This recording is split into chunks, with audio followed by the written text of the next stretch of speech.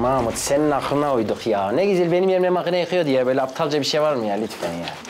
Evet abi böyle olmuyor ya. Sen konuşma, çitile. Sen hiç daha önce hijyen diye bir şey duydun mu Muharrem Efendi? Gelip de kulağına çarptı mı acaba?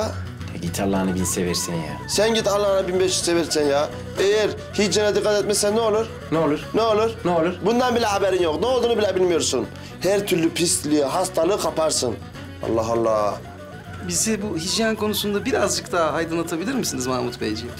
Ya aydınlatırım tabii. Eğer dinleyecekseniz, anlayacaksanız tabii ki anlatırım. Niye anlatmayayım ya? Bak mesela. Şimdi bu reklamlarda görürsün. Mutfak tezgahlarında. Mutfak. Ya mutfak tezgahında işte. Efendim bebeciklerimizin önlüklerinde. Efendime söyleyeyim helanın kenarlarında, taşlarında gördüğümüz böyle küçük, kırmızı, sevimsiz, irezil, namussuz, aşağılık mahlukatlar vardır. Bu mahlukatlara ne denir? Mikrop denir, mikrop.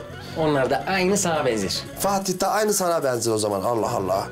Bu mikropları ketenpereye getirmezsen onlar seni ketenpereye getirir. Peki onları ketenpereye getirmek için yani öldürmek için ne yapmam gerekiyor diyorsan diyor musun? Demez miyim? Lütfen devam edin dedeciğim. Çok güzel, güzel diyorsun. İşte bunların, bu mikropların, irezil, şerefsiz hayvanların kafasını böyle deterjanı boca ettikten sonra böyle sabunla kafalarına vura vura vur. Tövbe bismillah, bismillah bu ne ya?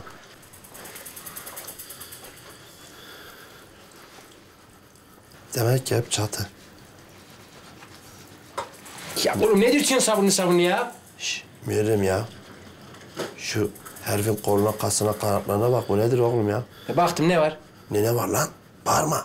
Herifin kolu senin bacağın kadar görmüyor musun ya? Bu nasıl yapmış, nasıl bu hale gelmiş?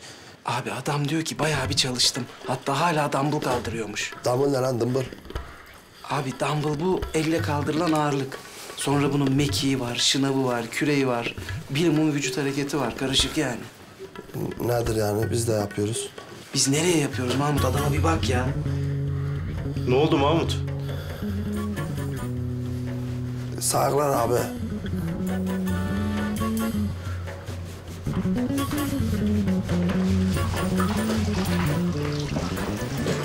Kolay gelsin yavrular. Muharrem ne oldu bu nöbet devriyesi işi? Ya çavuşum ben şimdi çamaşır yıkar oldum. Bu sefer sen git. Bir dahaki sefer söz veriyorum ben gideceğim. Yarın ben gideceğim söz. Allah'ım. Oha.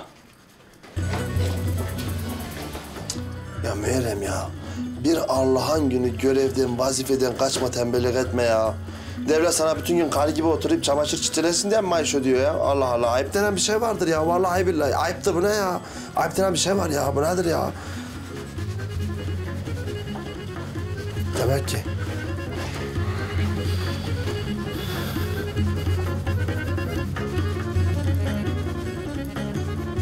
Çalışırsam